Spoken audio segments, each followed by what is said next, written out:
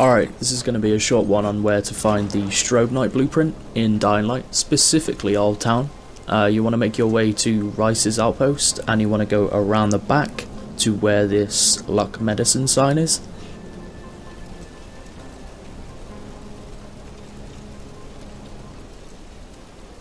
And basically there's going to be a lot of electric fences on so you want to quickly run inside and jump on the desk where I go.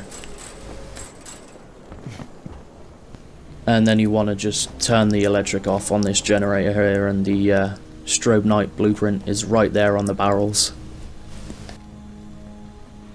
It's a pretty good blueprint. It's one of the better ones. Uh, but yeah, if this helped you out in your collection of blueprints, leave a thumbs up, subscribe, and that's all from me.